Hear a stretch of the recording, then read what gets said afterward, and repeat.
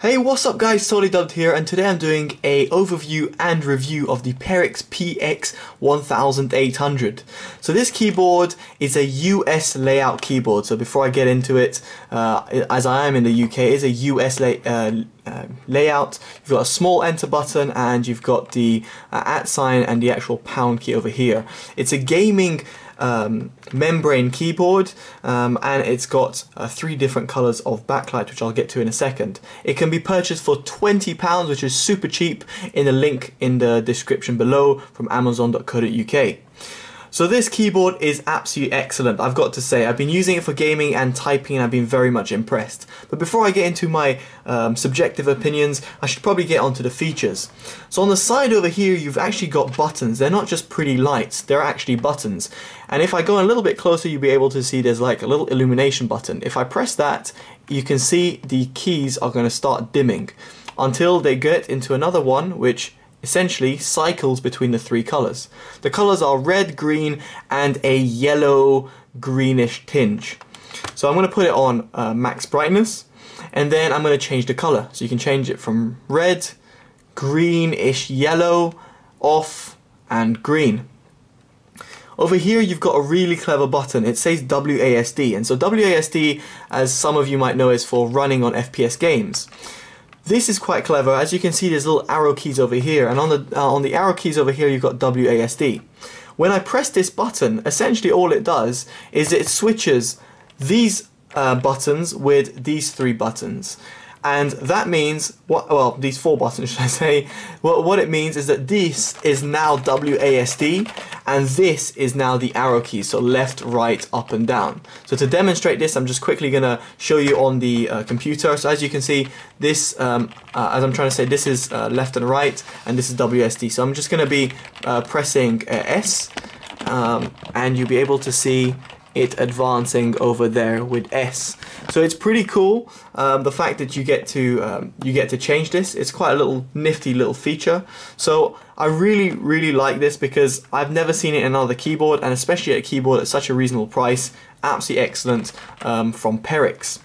Then you've got the repeat rate, 30 and 60. Um, you can change the repeat rate. So 30 um, essentially is what you would uh, expect. So on 30, if I just zoom in a little bit, you'll be able to see it just in a little bit de detail. I'm going to delete all of this and press Y. So I'm just going to hold down Y. Look at the speed that it's going on. Now I'm going to press the 60 button, well the, the button between 30 and 60, and now look at the repeat rate. Can you see how much faster it is? I'm just holding it down, now 30, holding it down, pressing again 60, as you can see, that is what the repeat rate does. And you might be saying, what is that for? Why would you ever use that? Well, if you're an MMORPG gamer or RTS gamer, then you will really appreciate that. If you're an FPS gamer, it probably will be uh, no use to you.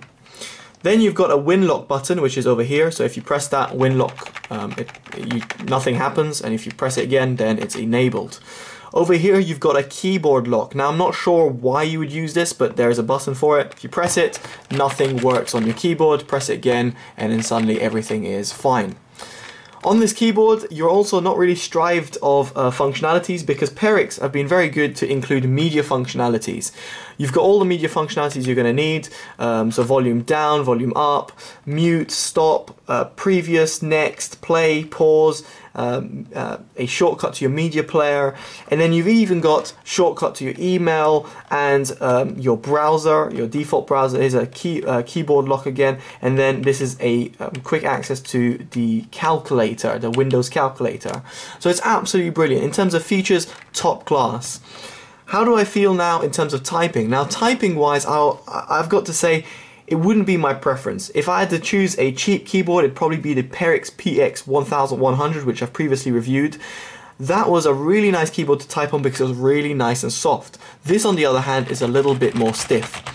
So it felt a little harder to type on and if I had to compare it to mechanical keyboards this would be kind of like a black switch keyboard in terms of typing. It's a little harder to press.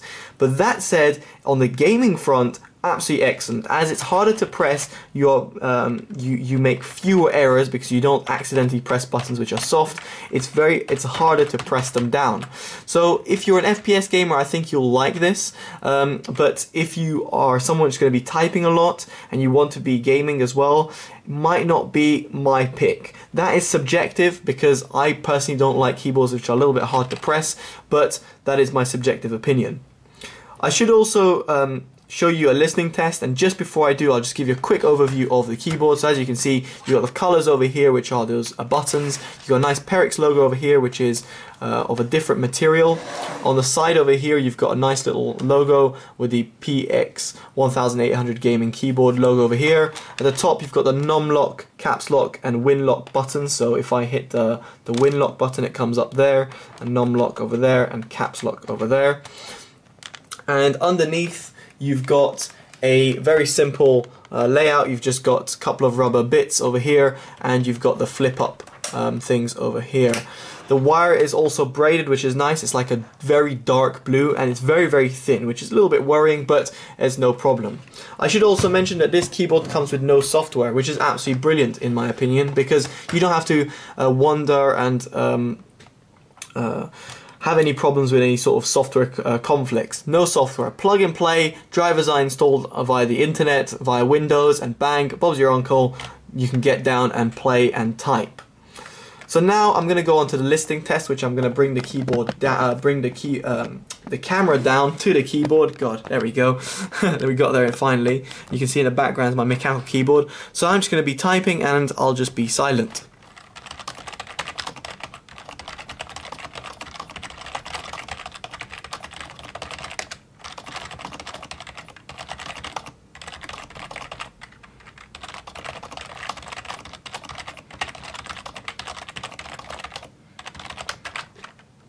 So as you can hear, it's a little bit, um, it's quite nice and silent. It doesn't make loads of noise, but the PX 1100, in my opinion, was a bit more silent and much easier to press. One thing I should mention about pressing is this shift button over here and even the shift button over there are nice and large, and they are in some respect a little bit on um, a different gradient. I don't know how to explain this, but the control key is a little bit higher raised than the, um, the these buttons over here, and especially the shift key. I don't know if that's done on purpose or not, but it is a cool implementation for FPS gamers because it's just um, so, uh, easier to press. Also, I did find it a little softer to press in comparison to the other keys. It feels for some reason just a little easier. I don't know quite how to explain it apart from you gotta try it for yourselves. Um, it is uh, easier to press than the keys. Very weird. Whereas the enter key just feels like all the other keys on the keyboard. So thought to mention that because it's uh, just something I noticed, um, including this shift key over here. So I'm, I'm only guessing that it's been a softer, um, designed a bit softer for FPS gamers so that you know when they're running they don't get tired of constantly holding shift. So if that's uh, purposeful, then great job PERIXX because that's a very small feature to add in there, but super um, into, for FPS gamers. Anyway, guys, um, this has been a review for the PERIXX uh, PX1800 um, gaming keyboard. Um, I've got to say, top marks to PERIXX. 10 out of 10 in my opinion, especially at its price. Unbelievable um, quality for what you get. You really can't go wrong. It's uh, it's backlit. It's really nice to game on. Depending on your preference, it could be nice to type on. It's got great functionalities left and, and uh, at the top. Um, and overall, uh, just looks and feels brilliant. Really nice. Great job, PERIXX. Highly recommended it.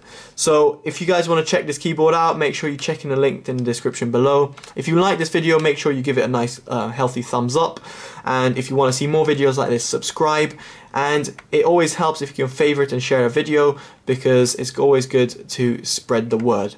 Alright guys, I've been totally dubbed and it's been the PERIXX PX 1800. Take care guys, bye bye.